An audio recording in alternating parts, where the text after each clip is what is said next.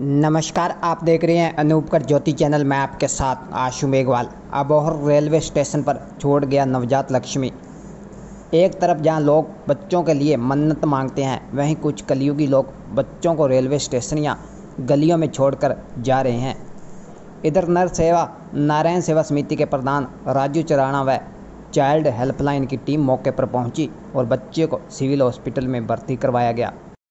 बच्ची मिली और की कार्रवाई की जा रही है? ਇਹ ਹਰਿਦੁਆਰ ਟ੍ਰੇਨ ਤੇ ਕੋਈ ਬੰਦਾ ਜਾਂ ਬੱਚੀ ਛੱਡ ਕੇ ਚੜ ਗਿਆ ਤੇ ਪਤਾ ਨਹੀਂ ਲੱਗਾ ਕੌਣ ਛੱਡ ਗਿਆ ਲੇਕਿਨ ਪਹਿਲਾਂ ਨਹੀਂ ਕੋਈ ਹੈਗਾ ਹੁਣ ਅਸੀਂ ਆ ਕੇ ਦੇਖੀ ਬੱਚੀ ਕੰਬਲ 'ਚ ਲਪੇਟੀ ਹੋਈ ਆ ਤੇ ਜੋ ਜਿੰਦਾ ਹਾਲਤ 'ਚ ਮਿਲੀ ਆ ਉਹ ਉਹਨਾਂ ਨੂੰ ਸੰਸਥਾ ਵਾਲਿਆਂ ਨੂੰ ਫੋਨ ਕਰਤਾ ਚਾਈਲਡ ਕੇਅਰ ਵਾਲੇ ਮੌਕੇ ਤੇ ਹਾਜ਼ਰ ਆ ਗਏ ਕੀ ਕਾਰਵਾਈ ਕੀਤੀ ਜਾਊਗੀ ਜੀ? ਨਰਸੇ ਵਾਲੇ ਵੀ ਇਸ ਮੌਕੇ ਤੇ ਆ ਗਏ। ਕੀ ਕਾਰਵਾਈ ਕੀ ਕੀਤੀ ਜਾਊਗੀ ਜੀ ਇਹ ਬੱਚੀ ਪਹਿਲਾਂ ਹਸਪੀਟਲ ਦਾਖਲ ਹੈ ਟ੍ਰੀਟਮੈਂਟ ਕਰਾਇਆ ਜਾਊਗਾ ਜੀ ਇਹਦਾ ਵੀ ਕੋਈ ਬਿਮਾਰ ਸ਼ਮਾਰ ਤਾਂ ਨਹੀਂ।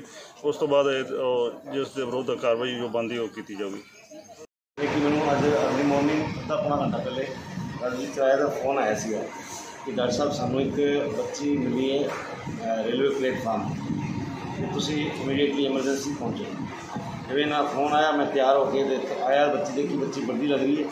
ਘੱਟ ਤੋਂ ਘੱਟ ਤਿੰਨ ਚਾਰ ਮਹੀਨੇ ਦਾ ਬੱਚਾ ਲੱਗ ਰਿਹਾ ਤੇ ਜਿਹੜੀ ਹੈਗੀ ਬਾਕੀ ਕਲੀਨਿਕਲੀ ਸਟੇਬਲ ਹੈ ਸਵਸਥ ਹੈ ਕੋਈ ਕਿਸੇ ਤਰ੍ਹਾਂ ਦੀ ਬਿਮਾਰੀ ਨਹੀਂ ਲੱਗਣੀ ਥੋੜਾ ਚਮੜੀ 'ਚ ਖਾਰਿਸ਼ ਵਗੈਰਾ ਹੈਗੀ ਅਦਰਵਾਈਜ਼ ਬੱਚਾ ਠੀਕ ਹੈਗਾ ਐਕਟਿਵ ਹੈ ਇਸ ਤਰ੍ਹਾਂ ਕੋਈ ਬਿਮਾਰੀ ਨਹੀਂ ਤੇ ਜਿਹੜਾ ਵੀ ਅੱਗੇ ਥਰੂ ਪ੍ਰੋਪਰ ਚੈਨਲ ਜਿਵੇਂ ਵੀ ਹੋਊਗਾ ਰਾਜਦੀਪ ਰਾਏ ਬਹੁਤ ਵਾਰੀ ਪਹਿਲਾਂ ਵੀ ਤਿੰਨ ਚਾਰ ਬੇਟੀਆਂ ਮਿਲ ਚੁੱਕੀ ਜਿਨ੍ਹਾਂ ਨੂੰ ਚੰਗੀ ਥਾਂ ਤੇ ਪਹੁੰਚਾ ਚੁੱਕੇ ਤੇ ਉਸੇ ਪ੍ਰੋਸੈਸ ਸੇਮ ਉਸੇ ਪ੍ਰੋਸੈਸ ਤੇ ਉਸੇ ਚੈਨਲ ਦੇ ਥਰੂ ਅਸੀਂ ਅਹ, ਜਿਹੜੇ ਵੀ ਅੱਗੇ ਬਣਦੀ ਕਾਰਵਾਈ ਹੈ ਉਹ ਕਰਾਂਗੇ ਤੇ ਪ੍ਰਸ਼ਾਸਨ ਤੇ ਜਿਹੜਾ ਸਾਡਾ ਚਿਕਿਤਸਾ ਵਿਭਾਗ ਹੈ ਉਹਨਾਂ ਨੂੰ ਵੀ ਅਸੀਂ ਸੂਚਿਤ ਕਰਨ ਲੱਗੇ ਹਾਂ ਇਹਦੇ ਬਾਰੇ।